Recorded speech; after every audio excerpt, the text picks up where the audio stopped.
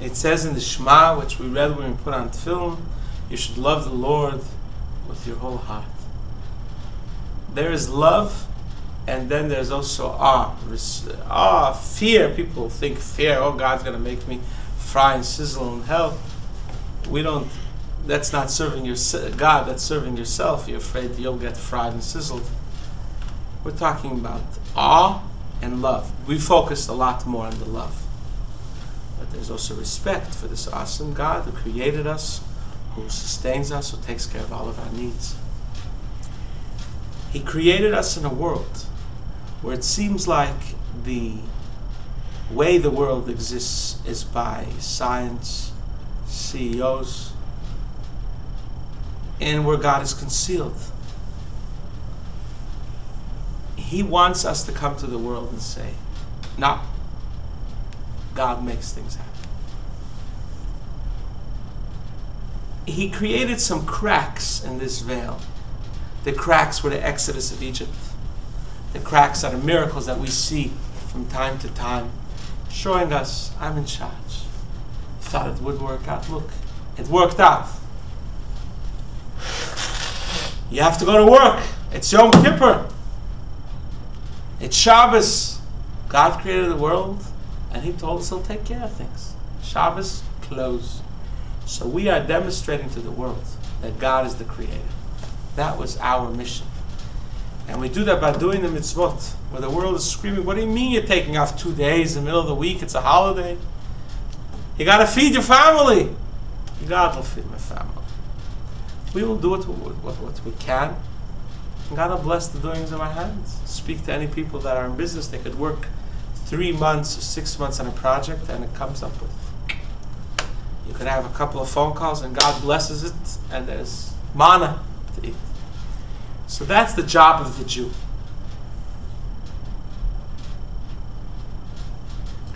Is a Jew's relationship to God different than the Gentile's relationship to God? In what sense? Different? Any sense.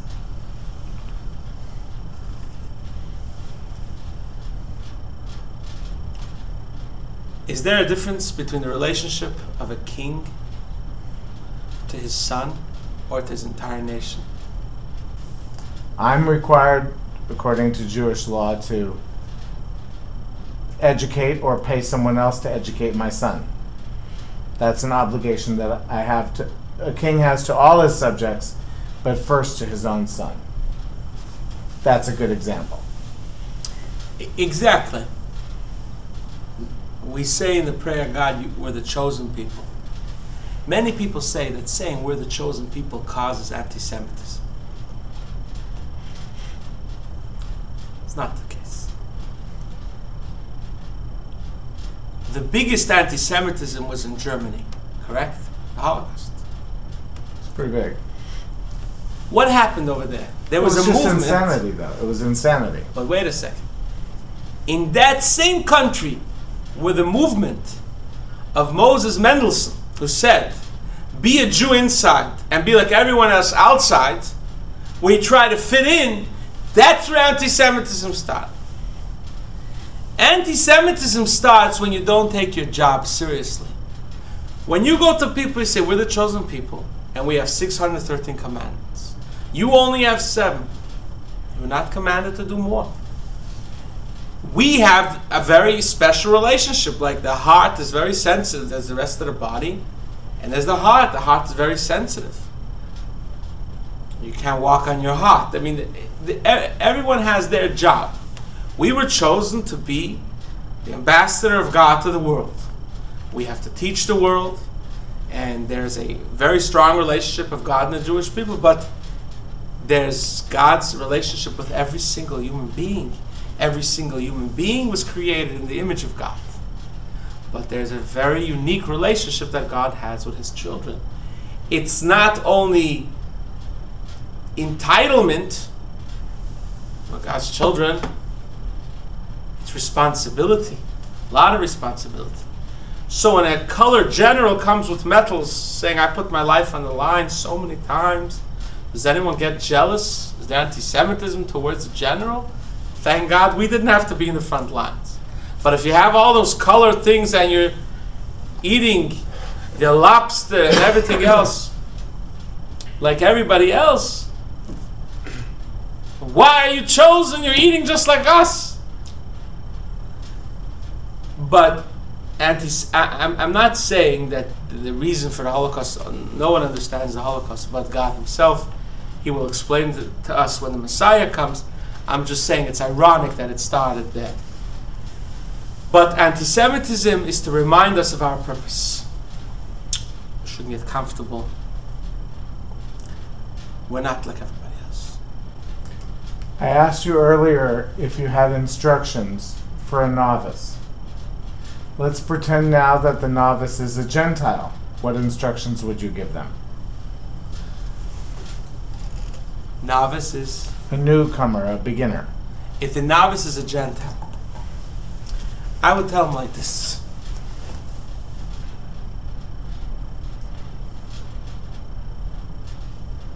You were commanded by God, Mount Sinai.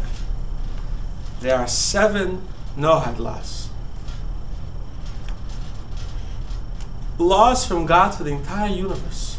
Start keeping them. Should I enumerate them? Please. They are the three cardinal Jewish sins, which are murder, uh, adultery, and idolatry. Hunting for fun, blaspheming God, cursing Him, stealing, and maintaining a justice system. Those are very important. Believe in God, don't steal from other people. The Rebbe in the early 80s wanted to initiate in all the public schools a moment of silence. From 9 till 901 a child should know he should think about god. And we have to bring god to the world because if you don't have god then why shouldn't you still why shouldn't you do anything what brings you pleasure? As a policeman you'll outsmart him i have a friend who's a public school teacher who in the 80s told the Rebbe that he, he did it in his classroom. And people stopped stealing pencils, started hurt, stopped hurting each other. So the Rebbe said, I knew it's going to help. So I would tell these people, start praying to God daily for your needs. And do these laws. Live, live this way. And you could pray anything you want, Psalms, any prayer you want. Just pray to God and live and, and live a meaningful life. How many families are there in your congregation? In this neighborhood, there's 20,000 Jews, so there's 20,000 members in my congregation. Every Jew is a member of this congregation. How many of them pay you dues? We don't have dues. How do you collect revenue? We have uh, donations. It's private donations. From the members, you give as much as you can to support what you want, what you can. How many of them donated to you in the last 12 months? Uh, close to 150 from locally. Great. That's the answer to the question I was asking. But we have hundreds of people at events, menorah lighting. There, there's no way. How many how many men come to a minyan on a We could have Saturday from 40 to 150 people. And also we have six other branches. Anyways, I'm sorry, I don't No, count. that's I fine. But they're they're they're they're not local. Yeah, yeah, I mean even Folsom or Davis are pretty far away. yeah. Are you of service to the to a community in any way other than your employment as rabbi of this congregation?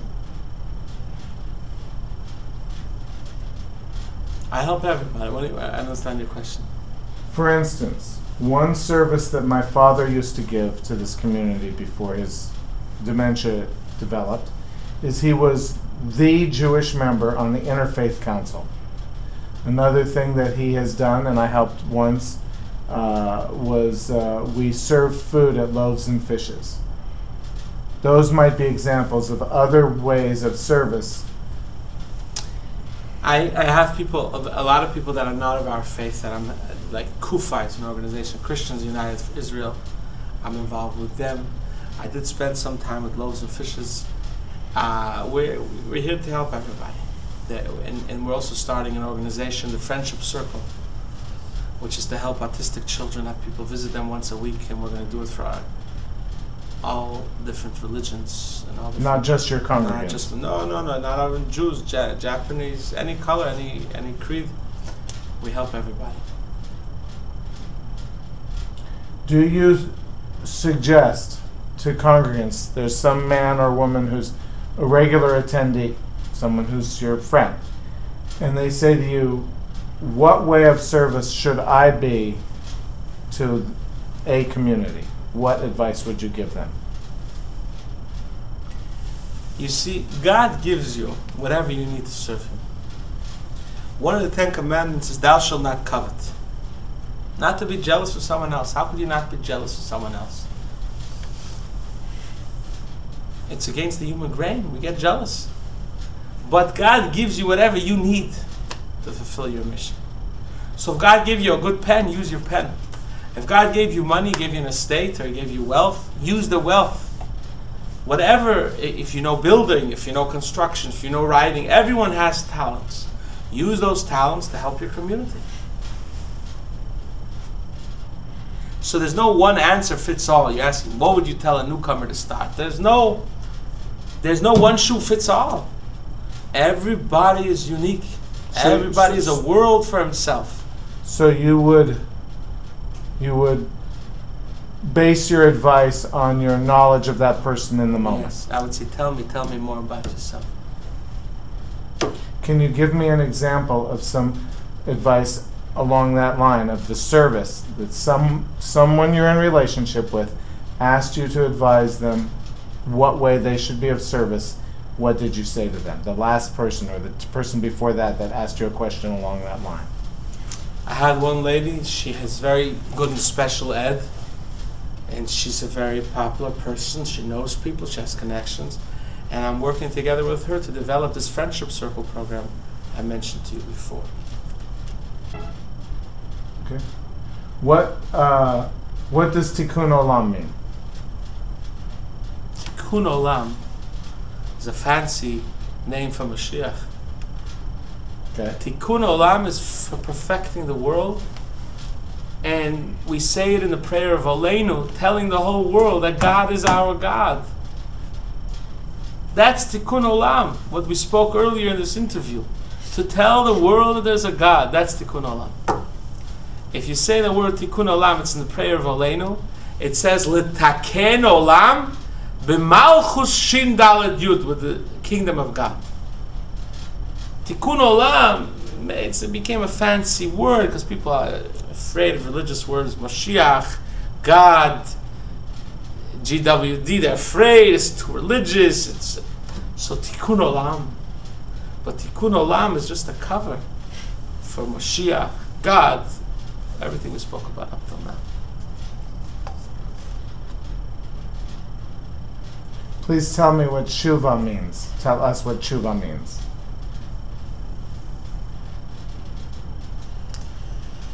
Tshuva means, the, the, actually, some people translate it repentance. The Christians say repentance, turning over a new leaf.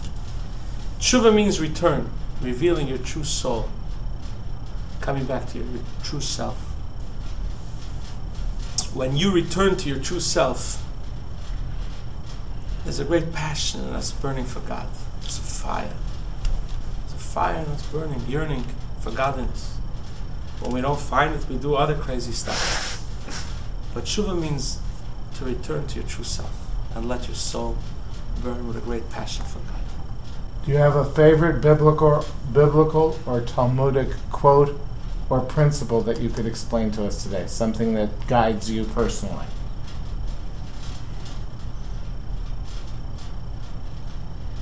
There's so many of them. You could select it to, down to just a few.